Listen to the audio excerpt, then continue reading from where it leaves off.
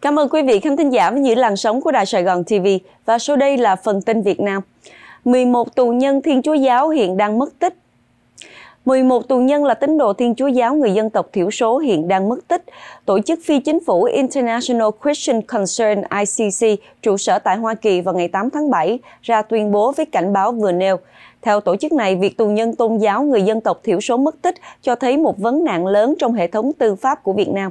Những tù nhân Thiên Chúa giáo hiện mất tích là những người bị kết án theo những cáo buộc liên quan đến hoạt động tôn giáo kể từ năm 2011.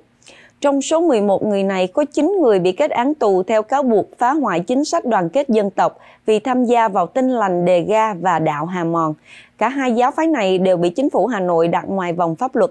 Cả 11 tù nhân đều là nam giới, họ bị tuyên án vào những thời điểm khác nhau từ năm 2011 đến năm 2016. Tổng số năm tù cho họ là 90 năm 8 tháng.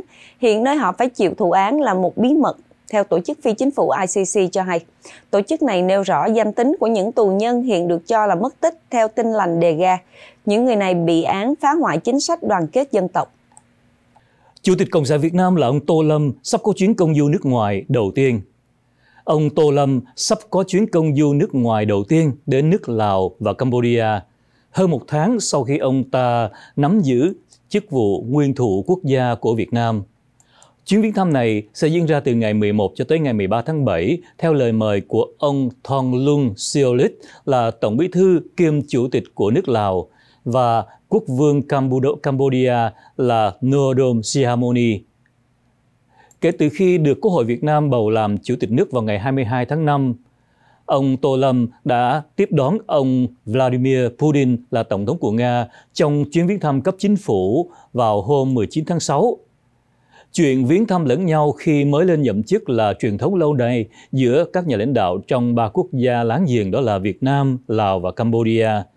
Thí dụ, hai người tiền nhiệm của ông Tô Lâm, đó là ông Nguyễn Xuân Phúc và ông Võ Văn Thưởng, cũng chọn nước Lào là điểm đến đầu tiên cho chuyến công du nước ngoài của họ sau khi hai người này lên làm chủ tịch nước vào tháng 8 năm 2021 và tháng 4 năm 2023. Cả ông Nguyễn Xuân Phúc và ông Võ Văn Thưởng sau đó đều bị bãi nhiệm giữa chừng do kết quả của các cuộc điều tra chống tham nhũng trong nội bộ của Đảng Cộng sản Việt Nam. Do đó, trong 4 năm qua, chỉ một chủ tịch nước Lào là ông Thorklum Sisolit đã lần lượt tiếp đón tới ba chủ tịch của Cộng sản Việt Nam. Bắt giam trưởng quân sự xã tổ chức sử dụng ma túy tại phòng làm việc – Ông Nguyễn Hữu Thọ, chỉ huy trưởng ban chỉ huy quân sự xã DA, tỉnh Gia Lai đã bị khởi tố, bắt tạm giam 3 tháng để điều tra về hành vi tổ chức sử dụng trái phép chất ma túy. Cơ quan Cảnh sát điều tra Công an huyện Mang Giang, tỉnh Gia Lai cho truyền thông nhà nước hay tin trên trong ngày 8 tháng 7. Ông Thọ được nói đã cùng một người phụ nữ có tên viết tắt là NTT trú ngụ tại Bình Định bị cảnh sát bắt quả tang sử dụng ma túy tại phòng làm việc của Ban Chỉ huy quân sự xã vào tối 27 tháng 6. Theo công an, lực lượng chức năng đã thu giữ tăng vật là một ít chất bột màu trắng trên đĩa sứ. Ông Nguyễn Hữu Thọ khai đây là ma túy đá và một số dụng cụ để sử dụng ma túy. Bà Đỗ Thị Thanh Vân, Chủ tịch Ủy ban Nhân dân xã DA xác nhận sự việc công an đã bắt giữ ông Thọ và bà T ngay tại phòng làm việc. Tuy nhiên, thông tin cụ thể còn phải chờ cơ quan điều tra công bố sau. Đại diện Ủy ban Nhân dân huyện Mang Giang cũng xác nhận có sự việc trên. Tuy nhiên, người này cho biết trên tờ pháp luật rằng tại thời điểm kiểm tra, ông Thọ và bà T chưa sử dụng chất bột màu trắng nêu trên. Lãnh đạo huyện ủy, Ủy ban Nhân dân huyện Mang Giang cho biết đối với ông Thọ, nếu sau khi điều tra xác định có vi phạm thì ngoài việc xét xử vi phạm theo quy định của pháp luật, sẽ xem xét về mặt đảng viên, công chức vi phạm theo quy định của đảng và quy định về công chức nhà nước. Lại có thêm một thanh niên ở tỉnh Sơn La bị đánh chết trong đồn công an. Công an của tỉnh Sơn La xác nhận họ đang điều tra về vụ một thanh niên ở huyện Mộc Châu bị nghi là công an xã đánh chết sau khi được đưa về đồn làm việc. Giới truyền thông trong nước hôm 8 tháng 7 trích dẫn lời cô Hà Thị Hát là chị gái của nạn nhân cho biết như sau. Cách đây hai hôm thì em trai của cô cùng với các bạn đi nhậu ở một nhà người dân ở trong cùng xã. Trong lúc nhậu thì em trai của cô xảy ra xô xát với chủ nhà và một số người khác, khiến cho một số người bị chấn thương nặng phải được đưa đi bệnh viện cấp cứu. Nhận được tin báo thì công an xã Tân Lập đã đưa thanh niên kia về trụ sở công an để điều tra. Cũng theo lời cô gái này thì vào sáng 7 tháng 7, gia đình của cô đến trụ sở công an xã để xin gặp em trai của cô, thế nhưng không được chấp thuận. Cô nói tiếp như sau, khoảng 10 cho tới 11 giờ trưa cùng ngày, gia đình tôi tiếp tục xuống xin gặp em trai của tôi, thế nhưng công an vẫn không cho và nói rằng em trai của tôi đang cấp cứu tại bệnh viện.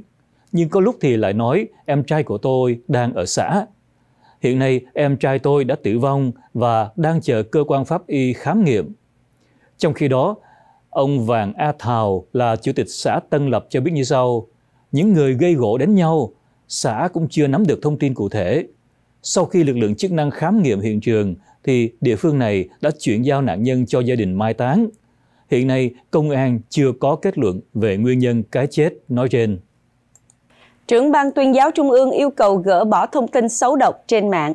Ông Nguyễn Trọng Nghĩa, trưởng ban tuyên giáo Trung ương đề nghị toàn ngành tuyên giáo phải tăng cường giám sát chặt chẽ không gian mạng, phát hiện gỡ bỏ các trang thông tin điện tử, tài khoản mạng xã hội đăng tải thông tin xấu độc, sai sự thật.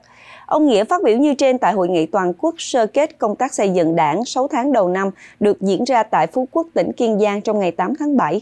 Ngoài đề nghị trên, ông Nghĩa còn đưa ra các yêu cầu trong thời gian tới như cần xử nghiêm khắc các tổ chức cá nhân lợi dụng sự kiện chính trị, lịch sử, tình hình phòng chống tham nhũng tiêu cực để xuyên tạc, chống phá đảng nhà nước. Ông Nguyễn Trọng Nghĩa cũng yêu cầu tăng cường công tác lãnh đạo, chỉ đạo, định hướng các hoạt động báo chí xuất bản. Theo đó, phát huy vai trò cơ quan báo chí xuất bản trong thông tin tích cực, truyền thông chính sách bảo vệ nền tảng tư tưởng của đảng, đấu tranh phản bác các quan điểm sai trái thù địch. Ông Nghĩa tại hội nghị cho biết 6 tháng đầu năm 2024, toàn ngành tuyên giáo đạt nhiều kết quả nổi bật. Tuy nhiên, trưởng ban tuyên giáo thừa nhận có một số bộ phận cán bộ cũng còn tình trạng suy thoái về tư tưởng chính trị, đạo đức, lối sống, đùng đẩy, né tránh và sợ trách nhiệm. Vâng, tiếp theo phần tin Việt Nam, Phó Giám đốc Sở Văn hóa và Thể thao của tỉnh Bình Định Long Bùi Trung Hiếu xác nhận rằng đại nhạc hội giữa các nghệ sĩ Nam Hàn và Việt Nam sẽ không diễn ra tại tỉnh này vào tháng 12 tới đây. Và đây là tin đang lan truyền trên các trang mạng xã hội. Ông cho rằng đó là tin giả. Ông ta nói với giới truyền thông của chính phủ rằng nhiều tin giả đang lan truyền trên các trang mạng xã hội cho rằng chương trình này sẽ có sự góp mặt của các nghệ sĩ nổi tiếng của Nam Hàn, thí dụ như Ispa, Twice và các ca sĩ nổi tiếng của Việt Nam như Sơn Tùng, MTP, Chi Pu, Tóc Tiên, vân vân. Để trấn an dư luận, ông khẳng định trên tờ báo Tuổi Trẻ như sau, trong thời gian tới ở tỉnh Bình Định không có chương trình đại nhạc hội của các nghệ sĩ Nam Hàn kết hợp với Việt Nam. Đó là các thông tin thất thiệt. Từ ngày 11 cho tới ngày 15 tháng 7, tại tỉnh Bình Định có sự kiện lễ hội tinh hoa đất biển và đây là một chuỗi sự kiện chương trình nghệ thuật văn hóa đặc sắc cùng với lễ hội ánh sáng và lễ hội đường phố. Chương trình đại nhạc hội kết hợp giữa các nghệ sĩ của Nam Hàn và Việt Nam do công ty cổ phần sự kiện và truyền thông Việt 21 đề nghị tổ chức. Tuy nhiên theo dự kiến thì chương trình với chủ đề Hạ Long, kỳ quan thế giới, điểm đến của những ngôi sao và được đề nghị diễn ra vào tháng 12 năm 2024 tại công trường Sun Carnival Hạ Long.